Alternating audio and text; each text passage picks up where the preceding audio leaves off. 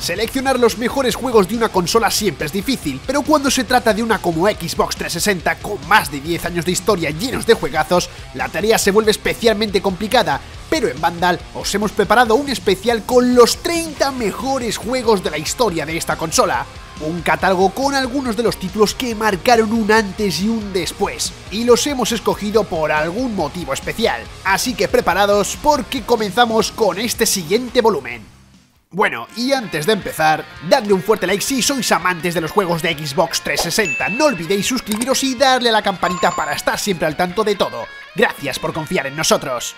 Y si estáis listos, pues ¡let's go! The Elder Scrolls Oblivion demostró que el rol occidental podía funcionar en consolas si se hacía bien, un auténtico bombazo en ventas y críticas que permitía a los jugadores explorar un mundo, descubrir sus secretos y jugar centenares de horas como nunca se había hecho hasta la fecha. Vanquish es un espectáculo de ver y jugar, enemigos gigantes o numerosos, escenarios dignos de montaña rusa, frenético de principio a fin y con la duración justa para que el ritmo no decaiga en ningún momento, el gran shooter arcade, una joya sin duda de Platinum Games. Max Payne 3, ahora con Rockstar, donde vimos nuevas mecánicas, reacciones en los enemigos, armas dobles y excelentes reacciones al entorno, incluso disponía de multijugador. Este Max que volvía con todo funcionó muy bien comercialmente, y con buenas críticas. GTA 4 arrasó perfeccionando la fórmula de sus predecesores, con mejores tiroteos, una narrativa más compleja incluso del multijugador. ¿Os acordáis de aquella historia cruda y dramática de Nico Bellic? El gran título antes de GTA V. Dead Space, la gloria del survival horror, sin duda la pasada generación derrochaba calidad como nunca, el mejor juego tipo Alien, con personalidad propia, un estilo de combate increíble, con un impresionante agobio espacial, Batman Arkham Asylum, Rocksteady se tomó muy en serio a este personaje y desarrolló un juego sin la presión de seguir los pasos de una película, con una aventura donde acompañábamos al Caballero Oscuro en una perturbante misión donde le esperaban los peores villanos. En Deus Ex Human Revolution el juego nos metía de lleno en una trama que se hacía más y más compleja a medida que descubríamos secretos sobre la corrupción. Los mundos cyberpunk nunca se habían visto tan poderosos como en este título, un gran RPG de acción. Con Borderlands 2 terminaron por asentar la saga y convertir a este juego en uno de los más destacados del año. Acción a raudales, adictivo, cachondo con un cooperativo impagable, diversión por muchísimas horas. Por supuesto, con el éxito se amplió la saga. Y Borderlands 3 es uno de los más demandados en la actual generación. Era inevitable que la secuela de Mass Effect se convirtiese en uno de los más esperados de Xbox 360, el cual comenzó a potenciar el sistema de combate e introdujo muchas novedades. Desde luego la trilogía estaba en marcha, con nuevas aventuras para acompañar a nuestros héroes por toda la galaxia uno de los grandes títulos de Electronic Arts. Gears of War 2 cosechó sobresalientes críticas y se alabó el intento por dar una mayor profundidad en la historia, una extraordinaria experiencia de acción en estado puro, sobresaliente en todos los aspectos técnicos y jugables, la era de los Locust, popularizar el modo orden cooperativo con esas grandes oleadas.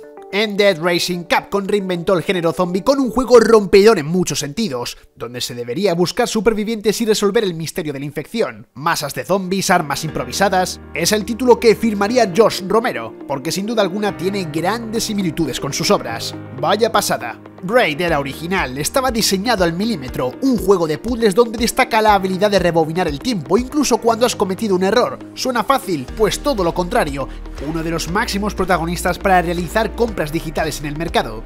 Batman Arkham City, donde toda Gotham se convirtió en una prisión que explorar a nuestro antojo. Volvió a ser uno de los grandes juegos del año. La libertad para movernos por la ciudad era increíble. Mecánicas idénticas al antecesor aunque bastante pulidas. ¡Qué gran juego! Como Assassin's Creed 2, uno de los más redondos de la saga. El comienzo de la trilogía de Ezio Auditore. La ambientación ahora en Florencia, Venecia y Roma era impresionante. Mejoras claras en movimiento, combate y libertad al primer Assassin's Creed. Para muchos el favorito. En Halo Reach se alabó que su historia fuese accesible para aquellos jugadores que no eran aficionados a Halo, incluyó un adictivo multijugador y un modo Firefight. El estudio se sacó de la manga una gran precuela de la trilogía, y ahora es uno de los grandes del catálogo de Xbox 360, cuando apareció Ultra Street Fighter 4. Un poco de reciclaje, sí, pero hacía el juego todavía más completo y variado, no se puede ignorar la importancia en el catálogo, su éxito en todos los eventos competitivos, un imprescindible si eres fan.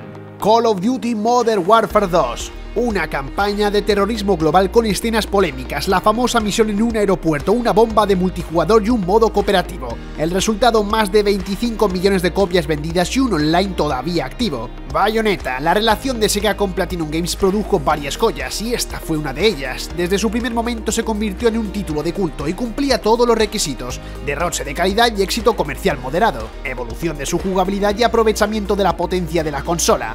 Portal 2, una secuela mucho más completa, mezcla de puzzles y escenarios como nunca se habían visto, esa complejidad que lo convirtió en uno de los mejores juegos de la última década que nadie se debería perder, esa forma de escapar de las pruebas.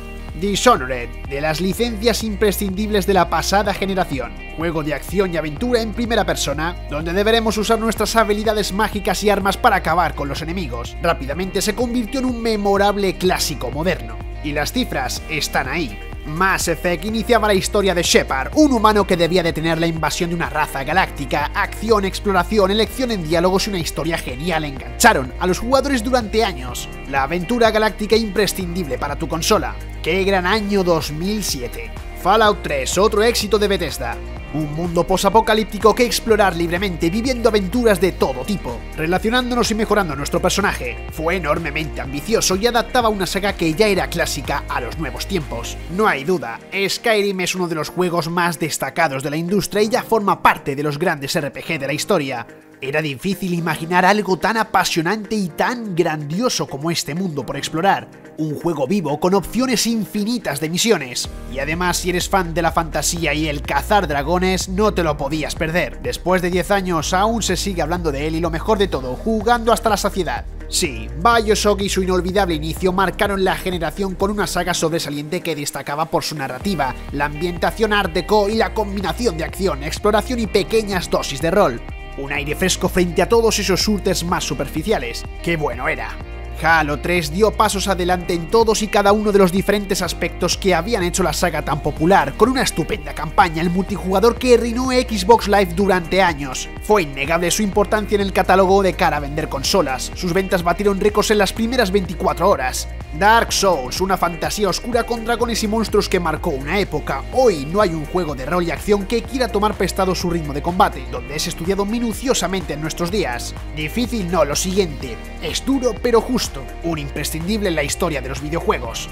Y hay que reconocerlo, en la última década From Software se sacó de la manga una de las sagas más influyentes de los últimos años, y por eso aquí está en el top número 5. Pero ojo porque ahora viene Call of Duty 4 Modern Warfare. Alejarse de la Segunda Guerra Mundial cambió el destino de esta saga, sorprendió al mundo con un impresionante shooter en primera persona ambientado en la guerra actual que cambió para siempre el concepto del multijugador en consolas y nos brindó una de las campañas más épicas que habíamos visto hasta la fecha, el éxito, una base de jugabilidad rápida y tácticamente adictiva. Con Red Dead Redemption, Rockstar llevó sus mecánicas de GTA al Spaghetti Western y creó uno de los mejores lanzamientos del estudio. Era el mejor en el mundo abierto que aprovechaba gracias a esa ambientación que lo convertía en único, uno de los clásicos modernos más sobresalientes. Su historia, sus detalles, sus aventuras, paseando por desiertos o persiguiendo forajidos. Epic Games se sacó de la manga Gears of War, que terminó por influir a todo el género de acción en tercera persona, donde el sistema de coberturas casi ha sido invariable desde ese 2006, el mejor escaparate para Unreal Engine 3, una apuesta segura, uno de los mejores juegos del catálogo y por eso está en el número 2, un imprescindible, como el número 1, GTA V. Se hace difícil ignorar el impacto del juego, uno de los mejores y más completos del mundo abierto nunca hecho, logrando subir el listón del género que esta saga creó. GTA V es un mito que ha entrado en la historia de la industria, supera los ingresos de cualquier película, incluso de sagas como Star Wars y los 90 millones de copias vendidas, el juego más vendido en la historia de Estados Unidos, si las cifras de la serie ya eran entre 20 y 30 millones, GTA V disparó el éxito hasta convertirse en un fenómeno. Probablemente no volveremos a ver nada parecido en mucho tiempo. Y sí, familia de Vandal, el número uno de nuestro gran podio. Muchísimas gracias por haber visto este vídeo. Dejadnos en los comentarios qué os ha parecido esta lista, si la cambiaríais o cuál es vuestro favorito. Os leemos siempre, no lo olvidéis. Nos vemos muy pronto.